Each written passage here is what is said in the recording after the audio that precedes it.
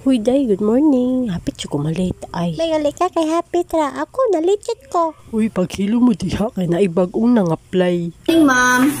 Good morning. Sit down. Thank you, ma'am. Ikaw ba si Sherelle? Yes, ma'am. Saan imong gi-applyan? Sus, si ma'am. Nag-hiring baya mo sa gawas, ma'am. Kalimot ka, ma'am. Customer service baya, ma'am. Okay, kay customer service man, naa na kay experience ana.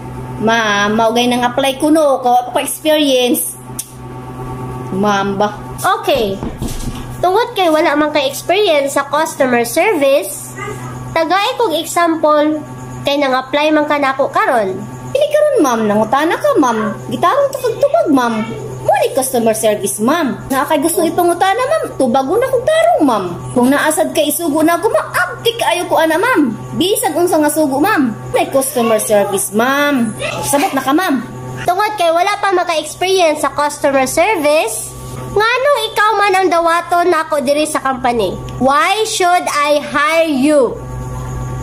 Ma'am, nag-hiring baya mo sa gawas, ma'am, ha? Kalimot ka, ma'am, nag-hiring mo. Imagine, ma'am, walay laing nakapila, ma'am. Ako ra jud, ma'am. Mao nang dapat jud nga ako imong dawaton. Karon ka wa laing nang apply kundi ako ra. No choice ka, ma'am. Dawaton jud ko nimo, ma'am. Unya, ma'am. Dawat na ko, ma'am, no? Okay. You're hired. Yes! Yes! Mindset ba, ma'am?